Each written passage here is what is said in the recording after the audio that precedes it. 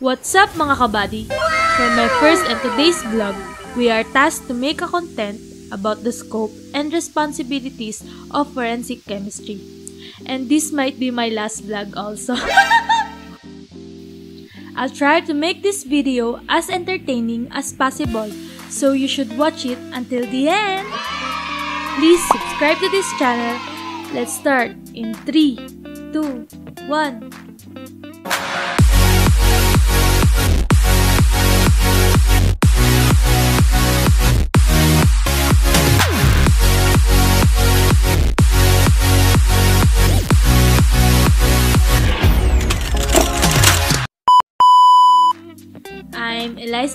And this is Jeder Pinagod, and lastly, Frank Joe Villardopo!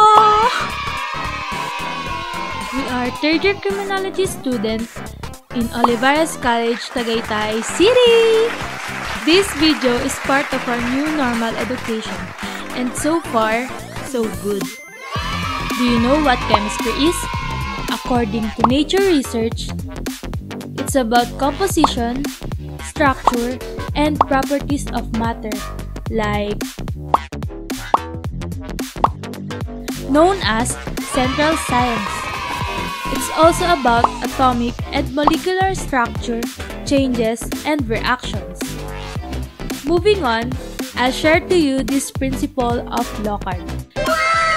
According to Incognito Forensic Foundation, going by Locard principles that everything leaves a contact, trace evidence, analyzes a crucial links to the perpetrators. In relation to that, our next topic is Have a guess, guys! Comment down your thoughts. Yes, I'm waiting. And yes, it's forensic science. What about forensic science? Forensic science involves forensic or forensis in Latin which means public discussion or debate. Combined with science, it will be methods, processing, and solving crimes. There are branches of forensic sciences such as forensic toxicology, psychology, podiatry, pathology, odontology, linguistics, geology, entomology, engineering, DNA analysis, botany, archaeology, anthropology, digital, and ballistics. Wait, we're not going to discuss it all. Don't you worry, we're going to focus on chemistry first. Forensic chemistry is the application of chemistry to forensic investigation. Complex chemical analysis to identify elements and confirm. identifying based on physical and chemical properties of substances. If there's forensic chemistry, then there's a forensic chemist. Forensic chemist. According to Bijus, a forensic chemist is a person who is expected to spend their time and effort to identify, quantify, and evaluate unknown items at a crime scene.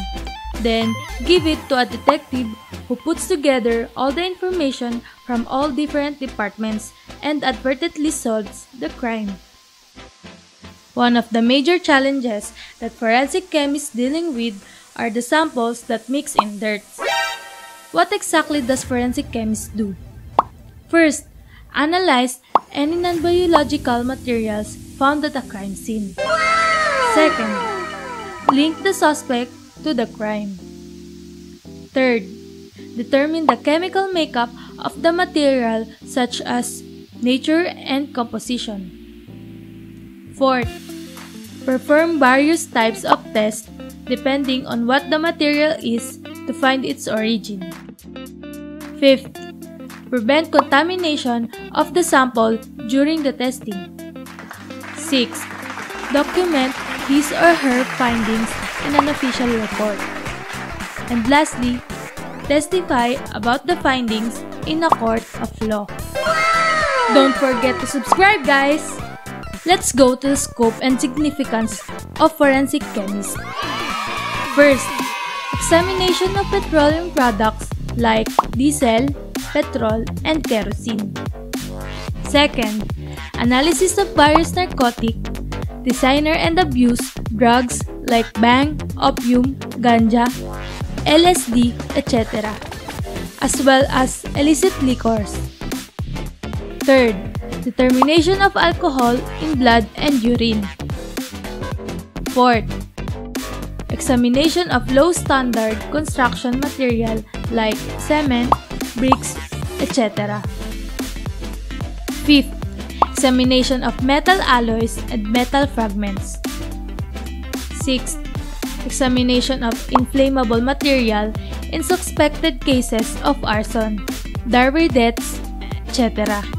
7. Analysis of explosive, firearms, and ammunition. 8.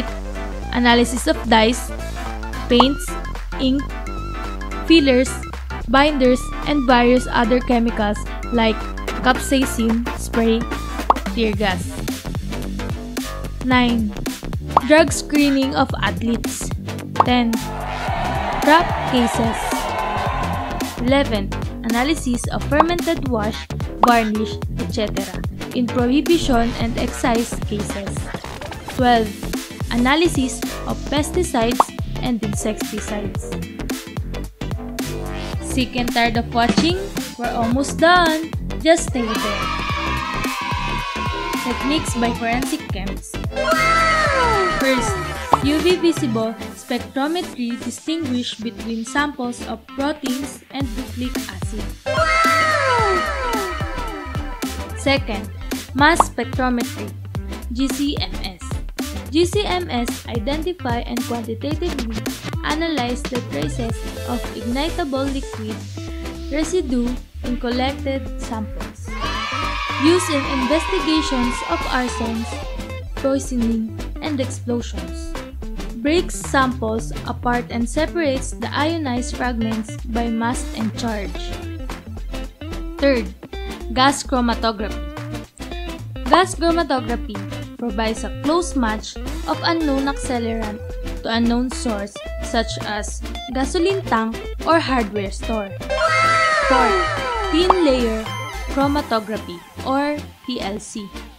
TLC analysis of a different toxins. Analyze inks and dyes. Fifth, high pressure liquid chromatography or HPLC. HPLC separates different types of drugs used for non-volatile mixtures. Wow! 6. Infrared spectrophotometry identification of organic compounds as bonds between certain atoms readily absorb infrared radiation or IR. 7. Atomic absorption spectrophometry provides ways of determining absorption and emission spectra, useful tools in the analysis of metal, such as bullet fragments, useful in cases of suspected heavy metal poisoning. 8.